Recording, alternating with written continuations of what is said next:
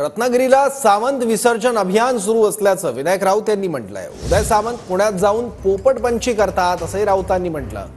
सामंत पुण्याला का जातात हे आम्ही कधीतरी सांगू असंही विनायक राऊत यांनी म्हटलंय. त्यामुळे विनायक राऊत यांचं वक्तव्य करताना रोख नेमका कोणत्या गोष्टीकडे हा प्रश्न देखील उपस्थित होतो. ज्या पद्धतीने उदय सामंतांचं म्हणणं आहे की फेक नेरेटिव्ह सेट करून जे काही मतांची सूज उद्धव ठाकरेंना आलेली आहे ती या निवडणुकीमध्ये निश्चित उतरेल. कोण? उदय सामंत. रत्नागिरीला सामंत विसर्जन अभियान चालू झालेलं आहे. त्यामुळे त्यांनी रत्नागिरी सांभाळावी ते पुण्याला येऊन पोपटपंची करण्यापेक्षा आणि पुण्याला का कशासाठी येतात हे संपूर्ण आम्हाला कधी ना कधी सांगावं लागेल. अच्छा. काय काय काय नेमकं कारण आहे? सांगू नाही ठीक आहे. हे सगळे स्वार्थी राजकीय लंपट असलेली म- मंडळी आहेत. त्यांना उद्धवजींवर बोलायचा उदय सामंतांना उद्धवजींवर बोलायचा अधिकारच नाहीये.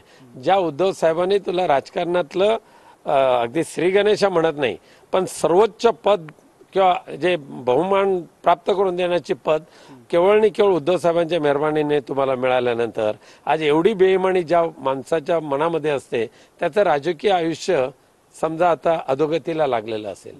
दुसरीकडे निवडणूक आयोगावरती उद्धव ठाकरेंनी जी टीका केली होती त्या संदर्भातला अहवाल तयार करण्यात आलेला आहे आणि तो अहवाल सुद्धा सादर झालेला आहे. त्या संदर्भातला निर्णय लवकर येण्याची शक्यता आहे.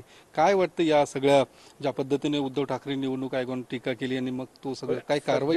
सध्याच्या देशाचा निवडणूक आयोग हा बोलविता धनी आहे असं अख्खा देश बोलतोय. देशातला प्रत्येक घटक बोलतोय. मीच बोलतोय असं नाही प्रत्येक घटक बोलतोय. कॅमेरामन विकीसह मी योगेश बोरसे टीव्ही नाईन मराठी पुणे.